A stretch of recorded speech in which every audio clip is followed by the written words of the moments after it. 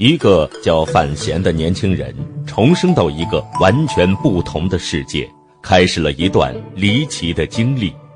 欢迎您继续收听由喜马拉雅出品的长篇有声小说《庆余年》，作者猫腻，播讲严道之，后期混音时光。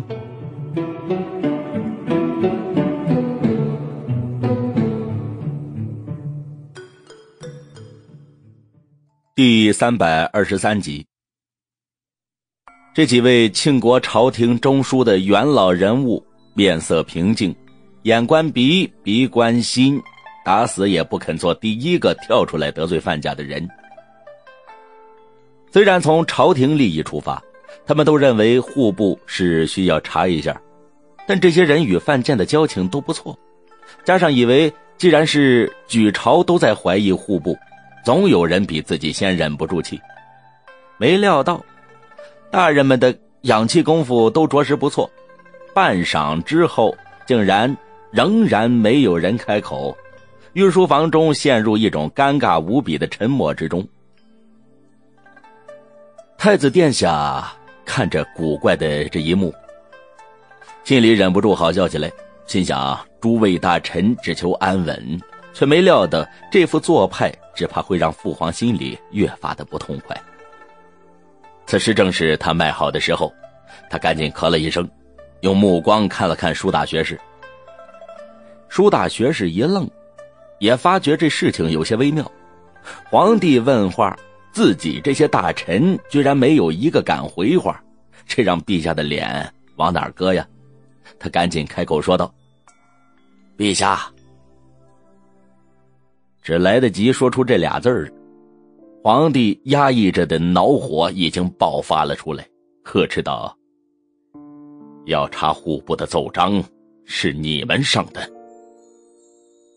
他捡着身边的奏章挥舞着，怒斥道：“这时候在朕面前摆出个死鸟模样的，也是你们？朝廷要你们这些闷口葫芦有什么用？”御书房中几位大人一句，赶紧离座躬身认罪，苦笑不已。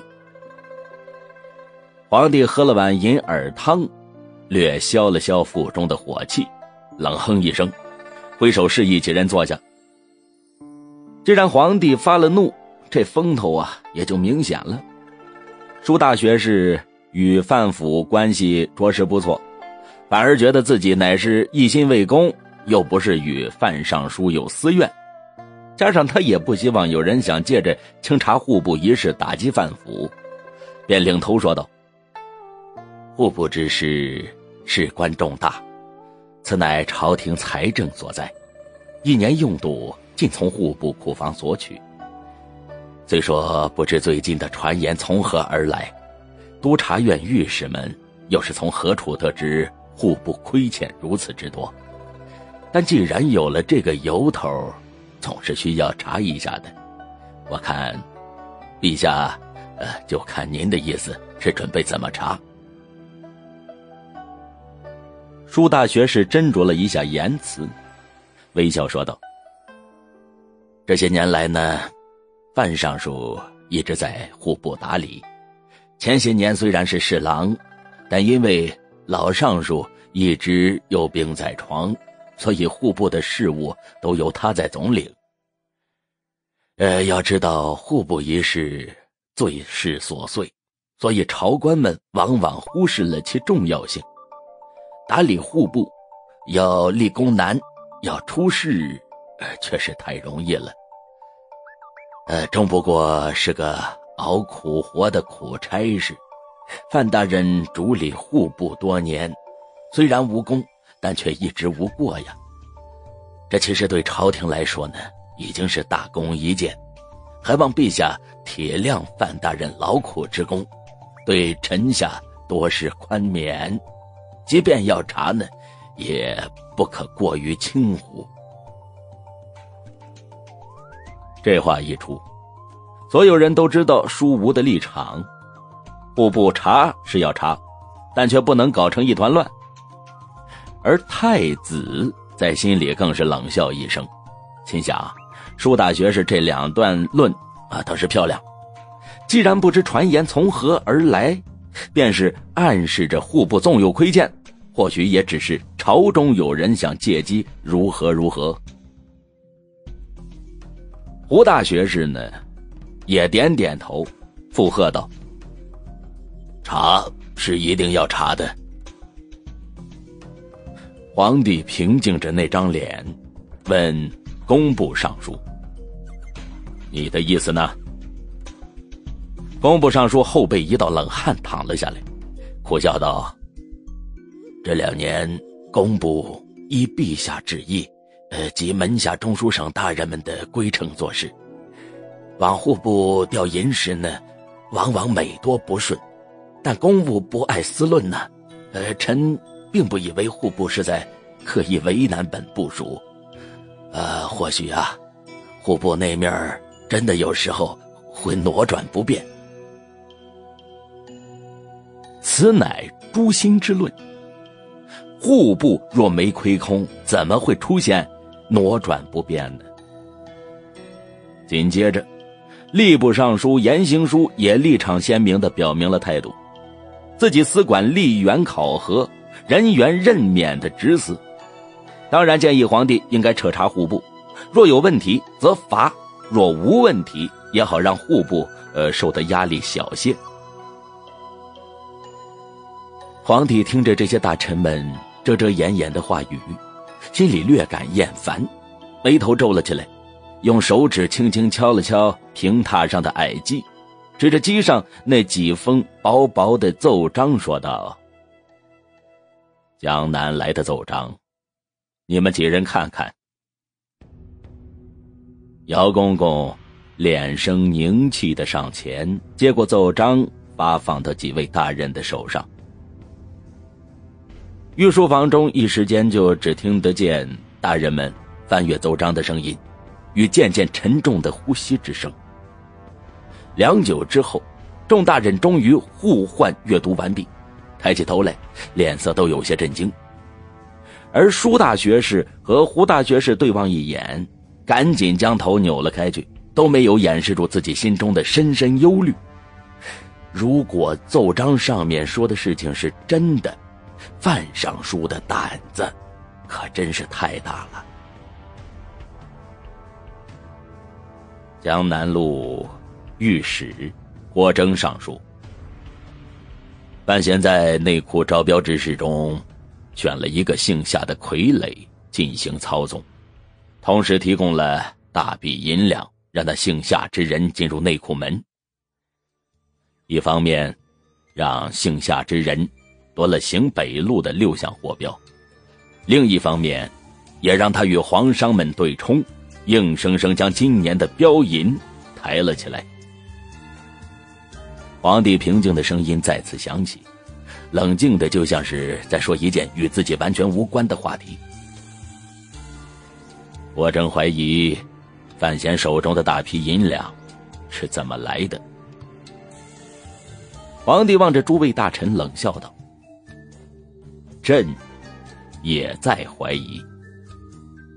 他范闲纵容手下与皇商争利，这事儿暂且不提。”但是哪位大臣能告诉朕，这么多的银子，他从哪里来的？舒无喉咙发干，有些说不出话来。这才知道为什么那么多朝官认定了户部亏空的数目一定非常巨大，原来是因为江南的问题。皇帝的意思也明显，范闲能够全盘掌握内库开标的局势。并且用自己的手下暗中掌控了行北路的六标，牵涉此事的巨大数目银两，只怕是从户部从他父亲的手中调出去的。大臣们沉默着，这时候他们不是在怕得罪范尚书，而是依然沉浸在在这种震惊之中。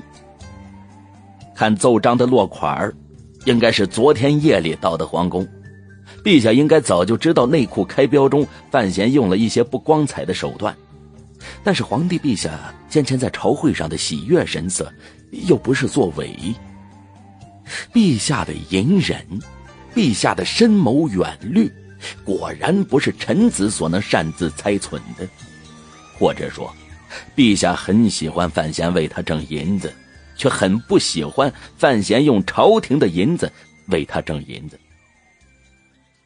朝廷的银子只能皇帝动，谁都不能擅自动。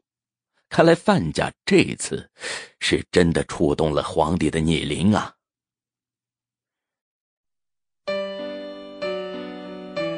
您刚才听到的是由喜马拉雅出品、严道之为您播讲的长篇穿越小说《庆余年》。休息一下，欢迎您继续收听。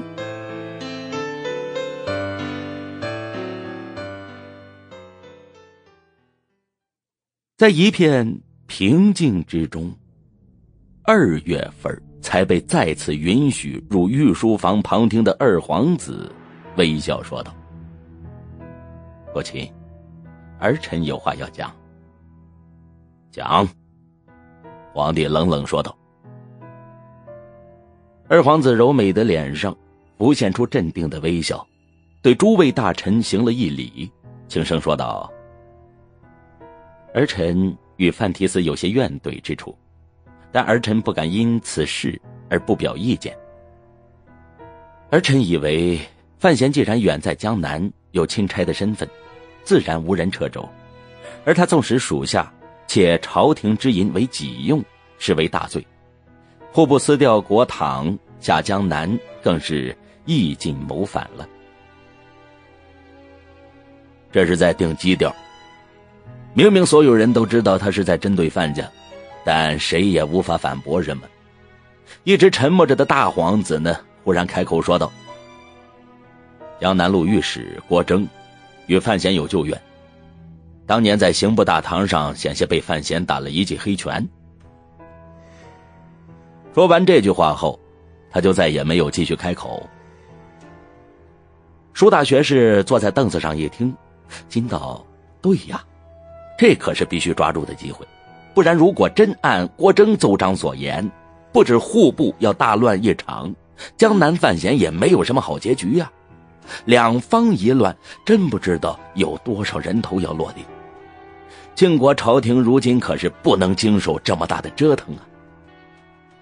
他赶紧顺着大皇子的话，笑着说道：“陛下，郭征此人，老臣不怕言语无状，也要多言一句：此人好大喜功，多行妄贤之举。”去年才被陛下贬去江南，难保他不会因为与小范大人夙愿的关系，刻意的夸大其事，构陷害人呢。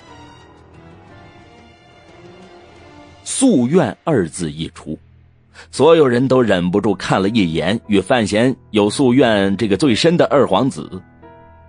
二皇子虽然脸上依然保持着清美的微笑，但实际上脸皮已经开始发热了。用幽怨的目光看了一眼大皇子。他自幼与大皇子兄弟情深，浑然不明白为什么如今大哥非要站在那个野种那边。舒大学士的话说完之后，皇帝点了点头。就算他心里边有些别的想法，也不可能在这个时候再说什么，因为去年为了范闲大闹刑部的事情。朝廷将督察院左都御史远远的发落到了这个江南路，所用的借口就是此人好大喜功，德行不佳。天子金口说过的话，自然如今吞不回来。只不过当时皇帝是要安抚范闲，如今呢，皇帝却是想借郭征的奏章做些事情，被舒大学士这么堵了回来，心里不免自嘲的笑了。心想啊，这算不算是自己挖的坑啊？自己往里边跳呢？不是，还有位公公去了江南吗？太子这时候跳出来显示自己的愚蠢，呵呵笑着说道：“父亲，虽然不能相信御史郭征的一面之词，但等那公公回来一说。”就知道江南到底是怎么回事了。此言看似稳妥持中，实际上却有些阴坏。公公会怎么呃毁坏范闲，还不是皇宫里太后娘娘的一句话呀？太子对于这件事情是有信心的。皇帝瞪了他一眼，冷声说道：“太监的话怎么能信啊？祖训在此，你不要忘了。”太子诺诺的不敢再言，一旁服侍的姚公公沉默不语，面色不变。等着雪清的奏章吧。皇帝闭着眼，沉重的呼吸了一次。御书房内众人纷纷点头，心想：堂堂一路总督说的话，自然要更加可信一些。一直没有表态的胡大学士，这个时候终于开了口，说道：“既然如此，那江南的事情暂放一放。若说真有这种事情，臣实在是不敢相信。诚如先前二殿下所言，如果真有人撕掉国躺下江南谋利，真是既尽谋反呐。臣相信。”范尚书断不是这等丧心病狂之人。不过，既然江南路御史与某些地方官员，呃，上了奏章，朝廷也不能不管不问。关于户部的清查，确实应该开始进行。一来是要满朝文武百官呢心头服气，二来也是要清洗范尚书所受的这些指责。对于门下中书的这几位大学士，庆国皇帝还是保持着表面的尊敬，微微沉吟后点点头，忽而自嘲笑道：“即便做出这种事情来，也算不得是丧心病狂。只是，朕有些好奇，诸位大臣想过没有，究竟该怎么查呢？”虽是唇角泛着淡淡的自嘲笑容，但御书房内众人的心头却是无由一寒。听出来了，陛下确实对范尚书的意见很大，只是众人心中都不明白，一向深得圣宠的范府为什么突然会成为陛下不喜欢看到的地方呢？范建究竟在哪里得罪了陛下？而皇帝最后问的那句话，也让大臣们哑然一片，根本不知如何应对。庆国的朝廷，用来监察吏治的是两个系统，一个是言官，便是那些挨惯了廷杖的督察院御史们；一个系统，当然是权柄无比之重的监察院。督察院属于预防贪腐机构。有封言奏事之权，所以先前江南路御史郭征才敢没有丝毫实据的情况下上奏参合范闲私动国堂，纵下入库，与商争利。